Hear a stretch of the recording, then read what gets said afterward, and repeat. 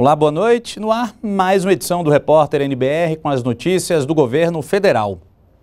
O ministro da Defesa, Raul Jungmann, está em Natal, no Rio Grande do Norte, para acompanhar a atuação das Forças Armadas. São cerca de 1.800 militares da Marinha, do Exército e da Aeronáutica que vão atuar na garantia da lei e da ordem.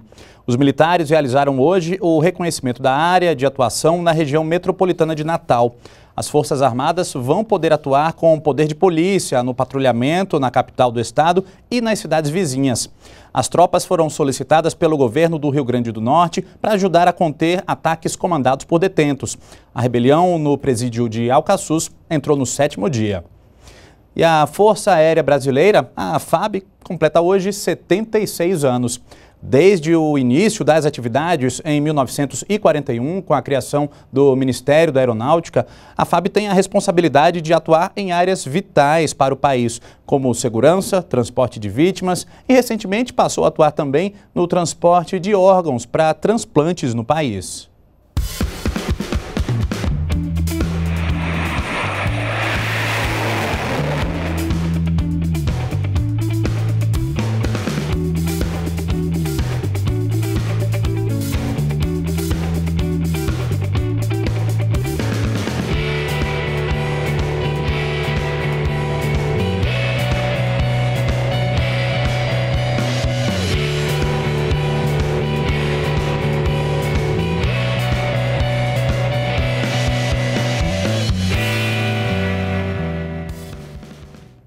E hoje os estúdios da Voz do Brasil recebem o novo secretário nacional de Juventude, Assis Filho.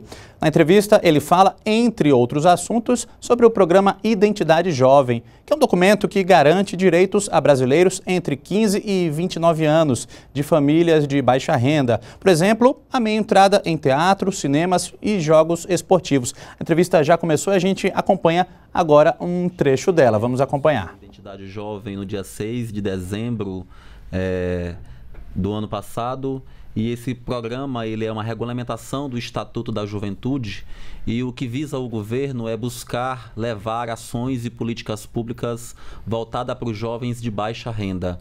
Nós vamos atingir um público de 16 milhões e 300 mil jovens que podem ser beneficiados por esse programa. A orientação do governo é que nós possamos fazer uma política voltada para esses jovens que precisam de ações e de políticas públicas capazes de mudar a realidade social desses jovens. E o ID Jovem é mais uma ação do governo que visa dar acesso a eventos esportivos, culturais, artísticos, passagens interestaduais e acesso também à carteira de estudante. É, como é que é que um jovem que está dentro da idade indicada, de baixa renda, faz para ter acesso ao ID Jovem? Bem, como eu disse, nós temos alguns requisitos para que esses jovens tenham direito ao ID Jovem. É muito fácil. Basta você ter de 15 a 29 anos e estar no CAD Único, que é o Cadastro Único de Programas Sociais do Governo. Ou seja, falando na voz do povo, se você está cadastrado no Bolsa Família, isso quer dizer que você está no CAD Único. E se tem de 15 a 29 anos e sua renda familiar é de até dois salários mínimos, você terá direito, então, a ter o acesso ao ID Jovem. O ID Jovem, para você conseguir de fato passar a usar esses direitos, basta você ter no seu celular um aplicativo. Coloque ID Jovem no aplicativo, você vai baixar esse aplicativo e colocar os seus dados, que é muito simples. O NIS, que é o número de identificação social. Eu disse, se você está cadastrado no Bolsa Família em algum programa social do governo, você terá o número do seu NIS. Ah, mas eu não sei o número do meu NIS. Você vai ter lá um link nesse aplicativo que você vai baixar e, e você clicando nele, ele vai informar o número do seu NIS. Feito isso, basta colocar o nome completo, o nome da sua mãe e a data do seu nascimento. Pronto, você já está cadastrado no aplicativo do ID Jovem e com o seu documento com foto, você terá acesso a todos esses benefícios.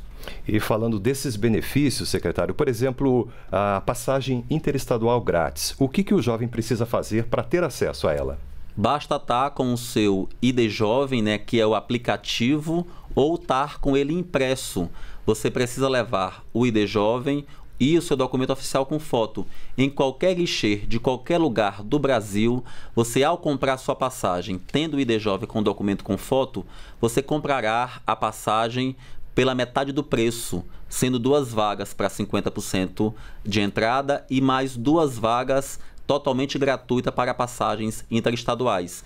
Isso serve para transportes terrestres e para embarcações também, principalmente no norte do país, que nós sabemos que as embarcações é que conseguem locomover aquele povo. E aí a gente tem também direito a meia passagem ou a duas passagens em cada viagem para esses jovens que têm o ID Jovem.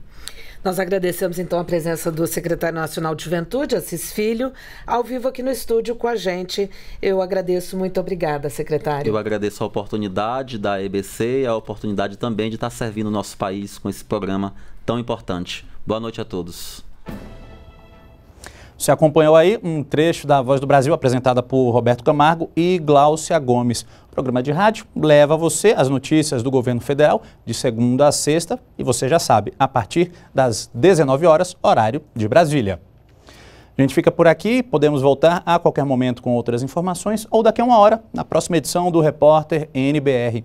Acompanhe as novidades também pelas nossas redes sociais e continue com a gente na NBR, a TV do Governo Federal.